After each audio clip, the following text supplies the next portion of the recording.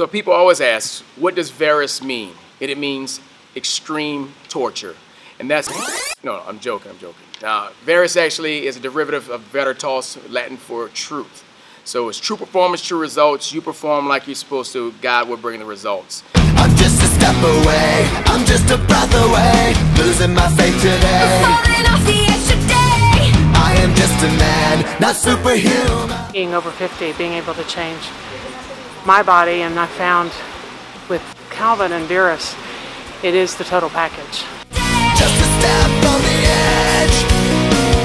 Just another day in the world we live. I need a hero to save me. currently uh, applied for Austin Police Department, and uh, they require stringent physical attributes to get in. So I'm working towards that.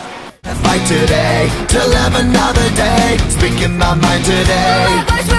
It strengthens mind, body, and soul. Lord Jesus is uh, made famous in this place, and uh, there's great variety in the workouts.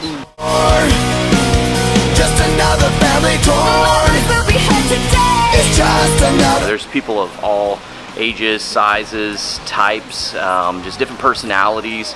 You know, everybody's accepted here. Calvin does a great job of making sure that everybody feels accepted.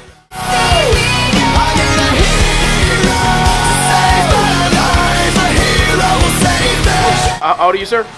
Uh, 68. I'll be 69 in September.